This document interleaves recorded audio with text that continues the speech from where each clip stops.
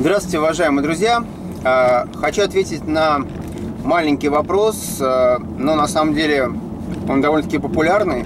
Вопрос касается смены имени, фамилии здесь, в Канаде. Меня спрашивают, можно ли это сделать, а, насколько это трудно, тяжело и как это может повлиять в дальнейшем на получение гражданства.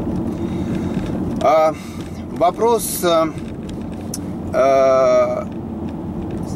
по поводу сроков, по поводу процедуры и так далее, разнится э, от провинции к провинции, потому что в каждой провинции существуют э, свои нюансы, свои, свои правила. Э, я перед тем, как записать это видео, немножко пошер, пошерстил по интернету, потому что я знаю процесс, и процедуру, которая есть в Квебеке для смены имени.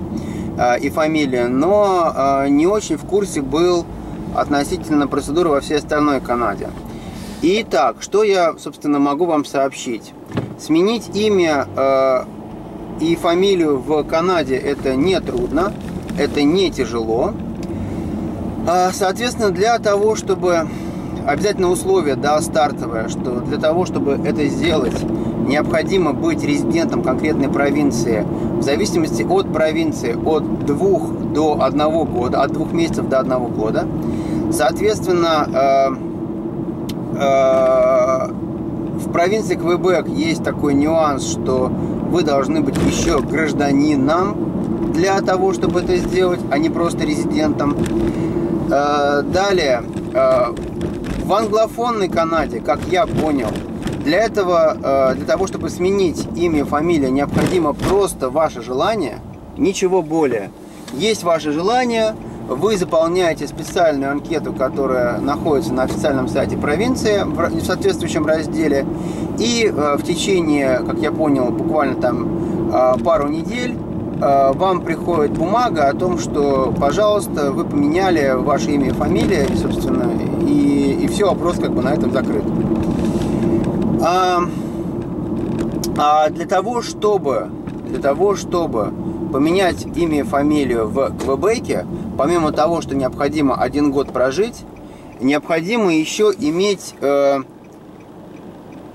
четкое обоснование, на основании которого вам поменяют имя. То есть просто так, по вашему желанию в Квебеке, это сделать нельзя. Вы обязаны э, сказать, что, там, я не знаю, Э, у вас смешное имя, там, да, или ваше имя постоянно коверкуют, его невозможно произнести, это, это, это затрудняет вашу адаптацию. Там, э, или, допустим, э, вы должны сказать, что ваше имя на английском или на французском языке здесь имеет негативную, оскорбительную коннотацию, то есть восприятие, да, со стороны местных жителей. Собственно, э, в общем, в таком роде, в таком ключе. Если у вас это все счастье есть, то э, назначается суд э, и, э, точнее, не суд, а назначается рассмотрение человеком, который отвечает за этот вопрос. И, соответственно, вас э, э уведомляют о том, что все в порядке, вы поменяли, все прекрасно, и, э, и все. Соответственно, цена вопроса для того, чтобы это сделать, для того, чтобы поменять имя, составляет где-то порядка 100 с небольшим долларов. Э, имея, имея все это счастье, заплатив все эти деньги, вы легко и просто меняете свою фамилию и свое имя на тот лад, на который вы хотите. Теперь по срокам рассмотрения ваших документов – а, вы а, меняя фамилию, в принципе, имеете все это делать право и до подачи на гражданство, то есть не обязательно быть для этого гражданином, но если вы являетесь постоянным жителем и вы собираетесь продавать на гражданство, то я в интернете встречал довольно-таки много упоминаний о том, что смена имени до получения гражданства – оно является причиной дополнительного времени рассмотрения вашего досье, потому что служба безопасности, как я понимаю, начинает шерстить и проверять, почему вы это сделали, уточнять, правильно ли вы сделали, имели ли вы право это сделать там, и так далее. Э, не является ли это какими-то мотивами, связанными там, с криминалами или там, исполнением каких-то финансовых обязательств и прочее, прочее, тому подобное.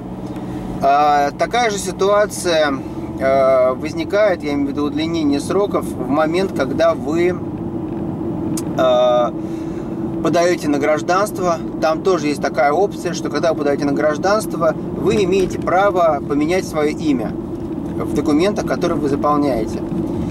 Соответственно, право-то вы имеете, но это также будет влиять на сроки рассмотрения э, документов